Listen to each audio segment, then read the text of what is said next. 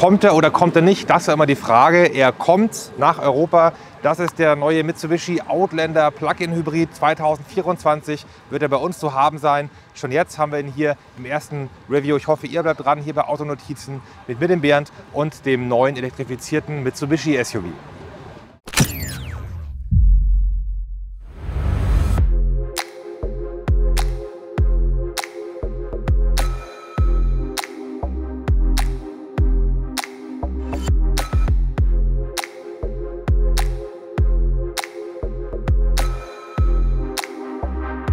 In China, in Nordamerika und hier in Japan, wo wir uns das Auto anschauen können, ist der Mitsubishi Outlander bereits auf dem Markt. 2024 kommt er zu uns. Es hat ein bisschen gedauert, weil Mitsubishi Motors bekanntermaßen erst gesagt hat, sie bringen keine Neuentwicklungen nach Europa und dann gab es diese halbe Rolle rückwärts. Zusätzlich zu den Allianz-Produkten auf Renault-Basis, dem neuen Colt, der dem Renault Clio entspricht und dem Mitsubishi ASX auf Basis des Renault Captur. Die sorgen für neuen Traffic, neuen Publikumsverkehr bei den Mitsubishi-Händlern. Und 2024 sollen die dann auch den neuen Outlander anbieten können. Der Outlander gilt als ja, Pionier bei den elektrifizierten Familien-SUV. Der Vorgänger war da viele Jahre sehr erfolgreich. Spannend wird, wie 2024 der Plug-in-Hybrid angenommen wird. Unter der Haube steckt ein 2,4 Liter großer Benziner und der ist dann im Team mit zwei Elektromotoren in diesem komplexen, aber zuverlässigen Hybridsystem unterwegs, was dann auch zwischen einem parallelen und seriellen Hybrid dann wechseln kann. Wir haben zwei Elektromotoren, einen mit 85 kW, 115 PS und einen mit 100 kW, 136 PS, das heißt Allradantrieb. Die Systemleistung des Outlander Plug-in Hybrid liegt bei 252 PS. Es kann sein, dass sich diese Daten minimal ändern, wenn das Auto dann für Europa homologiert wurde.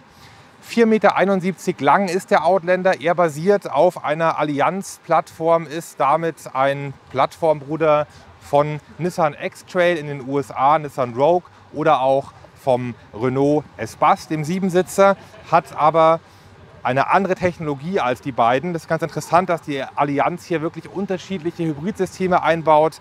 Renault nutzt ja beim Austral und es passt sein eigenes Hybridsystem mit einem Dreizylinder 1,2 Liter Motor und der e-Power genannte Nissan Hybrid ist auch ein eigenes System. Die Formensprache wirkt in sich ruhend. Das Auto ist, wie gesagt, schon einige Jahre auf dem Markt. Deswegen hat man sich, wenn man in der Welt unterwegs ist oder fleißig Autonotizen liest, dann auch schon ein bisschen daran gewöhnt. Der Kofferraum ist ausreichend groß. Die Literzahl liegt uns nicht vor. Und hier beim Ausstellungsfahrzeug ist der Kofferraum auch mit Goodies zugestellt. Aber was wir machen können, ist die Sitzprobe. Deswegen starten wir jetzt ins Auto.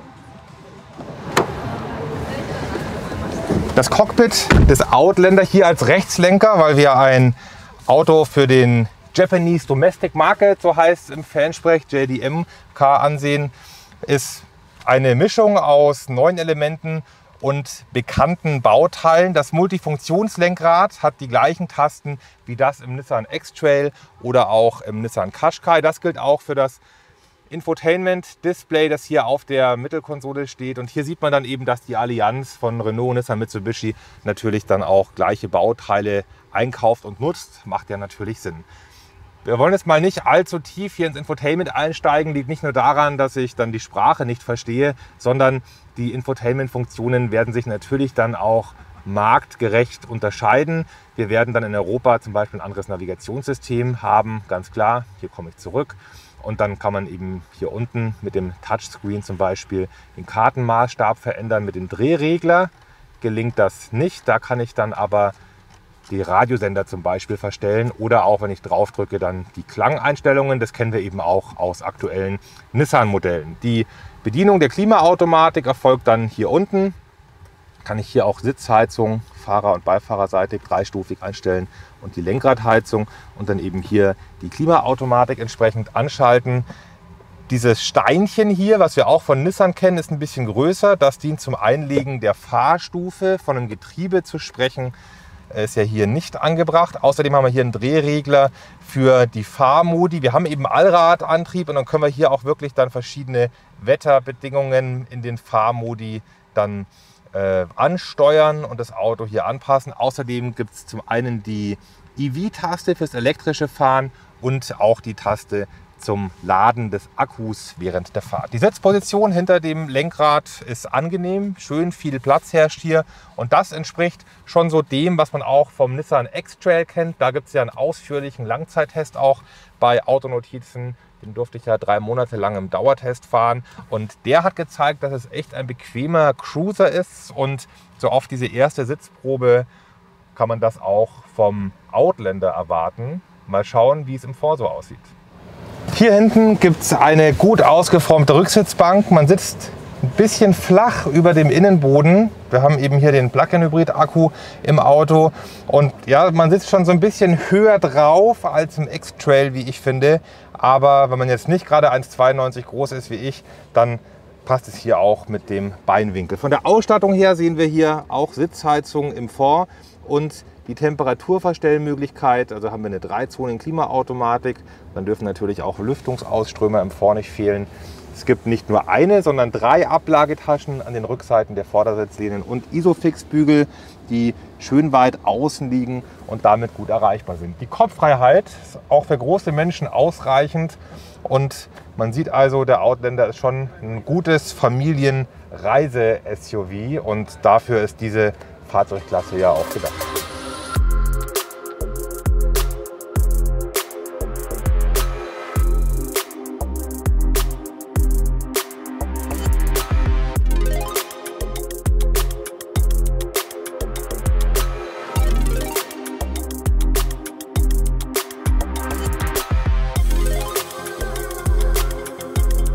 Das war der erste kurze Check des neuen Mitsubishi Outlander Plug-in Hybrid.